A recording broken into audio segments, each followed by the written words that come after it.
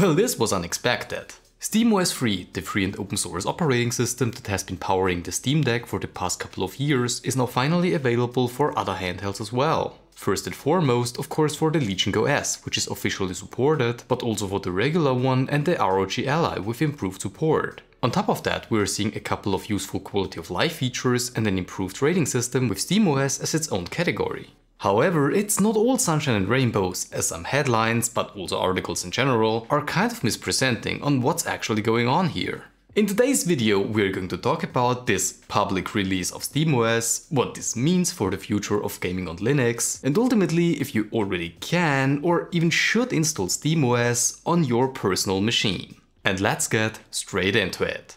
So it finally happened, and the old SteamOS website featuring the very outdated Debian 8 is now gone. And if you're looking it up right now, then you were met with a completely overhauled website that features the new console interface as well as the new game compatibility rating. But I'm getting ahead of myself. What it doesn't feature though is a direct download to an ISO file like you would typically expect from other Linux distributions. While SteamOS now officially supports the Steam Deck and the Legion Go S, as well as initial support in instructions for other handhelds, the installation still happens via the good old Steam Deck recovery image, which does have some limitations. First of all, you're going to need a device with AMD exclusive hardware and an NVMe drive, and it's still targeted for handhelds, which narrows the selection down quite a bit. The installer also basically flattens everything you have on that drive, so don't expect it to support dual boot just out of the box. This means that if you want to install SteamOS on a different device like a laptop or gaming PC that features a slightly different hardware combination or just has an Intel processor or Nvidia GPU, then nothing really changed. This release is really just meant to offer a supported distro for a wider range of handhelds. However, the fact that they bothered to actually change the website this time shows that Valve is still dedicated to making SteamOS available to the masses. But I wonder what it will eventually look like, because as of right now, it is really targeted for console-like devices. Nothing new really, because Steam machines have always been like this. However, I do think that many people just expect more, like a traditional desktop experience. And this is where it becomes complicated because a lot of things are just outside of Valve's control. For the Steam session, SteamOS uses a lightweight microcompositor called GameScope, which is maintained by Valve, and it's usually one of the first ones to implement features that other desktop environments take longer to develop. In terms of SteamOS for the desktop then, most people would expect the feature that they have in the Steam session to work the same in the KDE Plasma one, which depending on when it was implemented might just not be the case yet.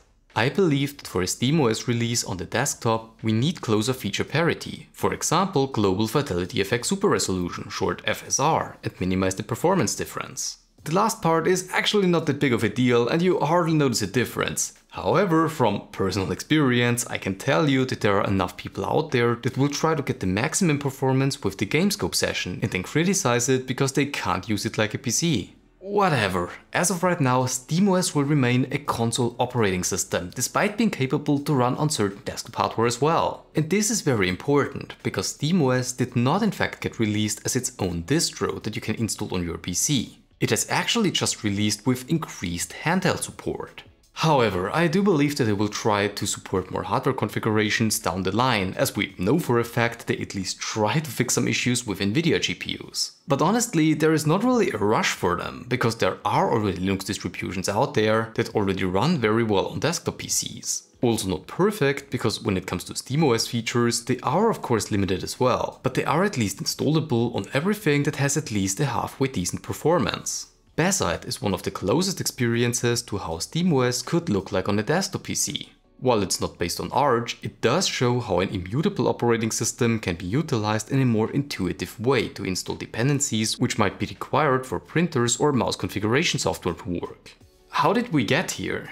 Let's go back to SteamOS. What also makes it more apparent that Valve is interested into pushing SteamOS as an operating system rather than just focus on specific devices is the new rating system that makes a clear difference between the Steam Deck and the OS itself. This has probably partially to do with hardware configurations, like for example the absence of a trackpad, and of course to boost accessibility if you were to use an actual Steam Deck. However, it's really nice to see a general category.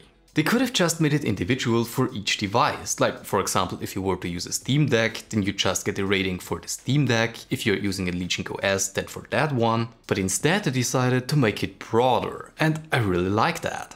I really hope that this new exposure of information further hurts the games that practice the idea to lock out Linux players from online or even offline experiences nowadays. They could allow dedicated lobbies if they are scared that Linux players could be cheating more, and it's not really increasing costs since you don't need to spin up more server instances for the same amount of global players. And no, it won't make the game look bad. I did get a comment that actually criticized Linux exclusive servers, like if there were more cheaters on it, then it would make the game look bad. However, it's honestly just like any other platform used to be back in the Xbox and PlayStation era when crossplay wasn't a thing. The awesome thing about Linux is that while it's technically its very own thing, that it can run Windows games just fine, so it basically strips out the compatibility problem. And in the future, we need to come up with more solidified ways against cheaters anyway. Like I despise them myself, but not being able to play is worse than playing against a couple of cheaters. I agree that that's not ideal, but it's still better than nothing.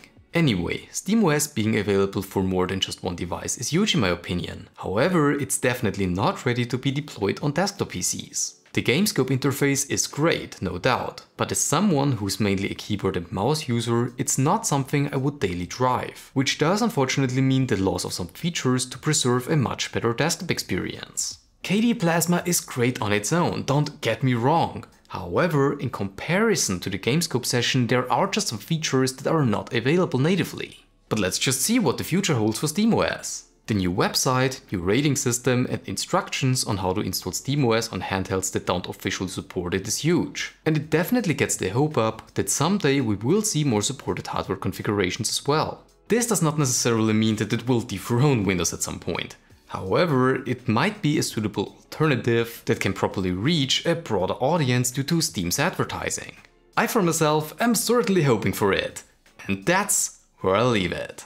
So what do you think of this release of SteamOS? Do you think that they will add support for more devices in the near future or solely focus on handhelds? I'd like to hear your thoughts about this in the comment section down below. Before I end this video, I quickly wanted to mention that if you want to support the channel, make even better videos, then please feel free to check out our membership program, as well as our online shop, whereas each sale helps to support various open source projects.